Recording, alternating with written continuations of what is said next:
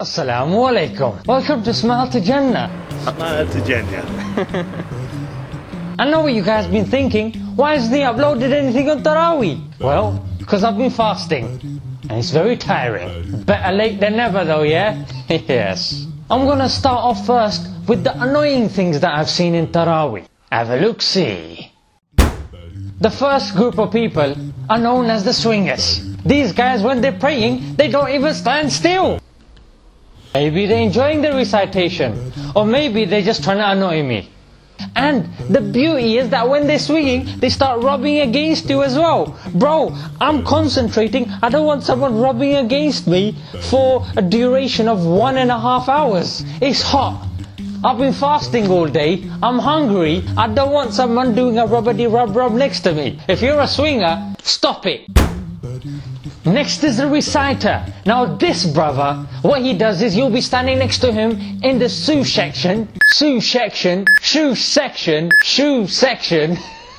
and what happens is he starts correcting the imam all the way from there. Mate, he can't hear you. Stop correcting him. You don't have super sound that you can make sound travel to the imam, mate, yeah? And another thing that he does is randomly he start reciting when he recognizes a few verses. Mate, mashallah your recitation's good, but I've come to listen to the imam, mate, not you, yeah?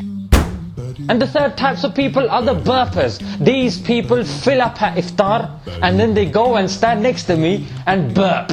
And it's not just a regular burp, they burp and they blow.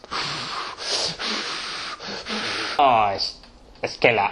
Enjoy that. Hey, brother in Islam. If you can't tolerate your own burp, why are you blowing it to me? The next type of people are the sweaty Simons. These people, mashallah, have been at work all day and they come and mashallah, I can smell the fact that they've been at work and at school. Yeah, I'm not supposed to be able to do that. If you've been at work, mashallah, excellent. Go home and use something called an atar. you know what that is? I don't think you do, brother. I've got three words for these brothers. Atar. Use it.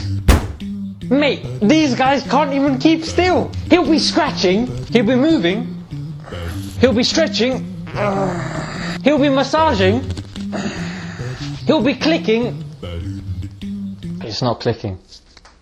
You get the point though. And he'll be cleaning. I got one sentence for you brothers. Bro, you're in Salah, not in a salon, yeah? Now that we've talked about the five annoying things in Taraweeh, let's talk about the five amazing things that I've seen in Taraweeh. Number one, you'll see brothers that you hardly ever see in the masjid during Taraweeh time. There's an amazing, indescribable feeling in Taraweeh of unity because everyone's coming to fulfill this sunnah together. And number three is the dedication of our fellow Muslim brothers. Some will be coming from work, some from school, some from their couch. Wherever they're coming from, they're coming. Quran is the center of attention and the people who have learnt it are the heroes of the Taraweeh nights. And number five, the generosity of the Muslims when it comes to the various charities that come to collect on these nights. MashaAllah. So those were the five annoying things about Taraweeh and five amazing things about Taraweeh. If you've got a few things to add of your own, leave a comment in the description below. And if you ain't praying Taraweeh, bro, you're missing out. Until next time, Assalamu alaikum.